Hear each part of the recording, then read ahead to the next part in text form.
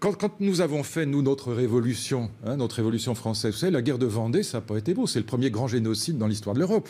Il y a eu 500 000 morts. Hein, on prenait les mômes par les quatre bras. Génocide. Euh, génocide, bien sûr. Que, évidemment, Pierre Chaunu a évidemment raison. D'ailleurs, plus aucun historien ne le conteste aujourd'hui. Hein, on prenait les, gamins par les bras, par les jambes, on leur cassait la tête sur les murs des, châteaux, on, jetait les gens sur des halbardes. Enfin, tout ça a été absolument abominable, sans compter le vandalisme dont on parlait tout à l'heure.